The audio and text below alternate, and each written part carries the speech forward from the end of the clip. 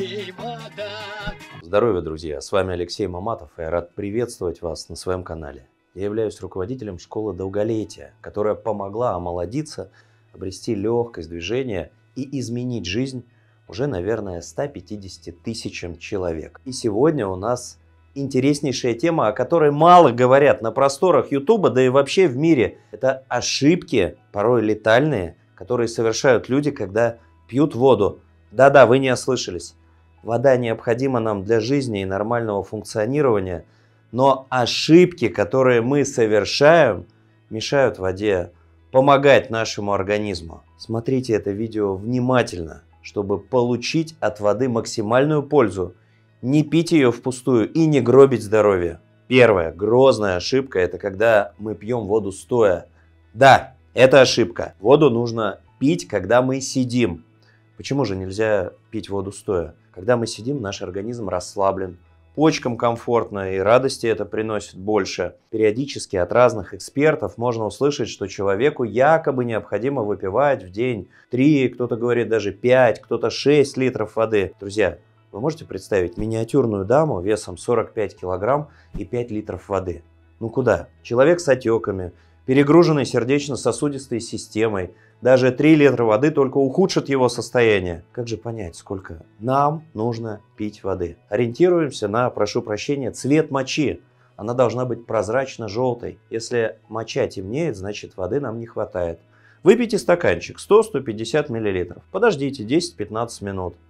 Жажда не отступила, выпейте еще. Не нужно пытаться выпить за раз пол-литра или литр, как делают некоторые фанаты оздоровления. Почему?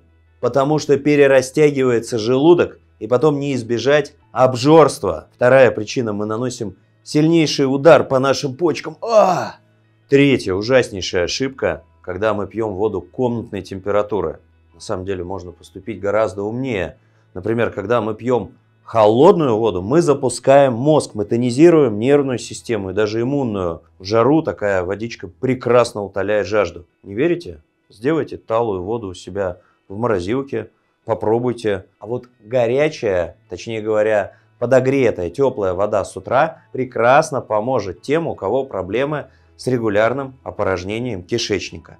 Она запускает моторику, перистальтику. Вода комнатной температуры бесполезна. Наш организм ее не воспринимает. Именно поэтому, когда мы пьем воду комнатной температуры, мы никак не можем напиться. И перегружаем почки, растягиваем кишечник, ведем себя к отекам, к повышению давления. К чему все это? Еще одна ошибка. Это когда воду принимают во время еды. Здесь частично вина стереотипа из нашего прошлого. Не ешь сухомятку, будет язва. На самом деле уже давным-давно доказано, что когда мы запиваем еду водой, организму нужно выделить гораздо больше желудочного сока потому что он разбавляется этой водой, кишечник растягивается. В итоге все это ведет к образованию порочного круга, и человек раз за разом переедает и истощает свою пищеварительную систему. Хотите быть толстым? Обязательно съедайте три блюда с десертом и запивайте все это компотом. И последний совет. Горячая вода с утра запустит ваше пищеварение, а холодная запустит голову и иммунную систему. Попробуйте чередовать. Одну неделю холодную воду с утра, а другую горячую. А если вы хотите очистить свой организм целиком, то приходите на программу «Чистка». Ссылочка на эту программу находится в описании к видео. Пейте воду правильно и будьте здоровы. Друзья, а в следующем видео мы разберемся, как избавиться от нароста на загривке, от так называемой вдовьей холки или вдовьего горба. Поэтому подписывайтесь, чтобы не пропустить.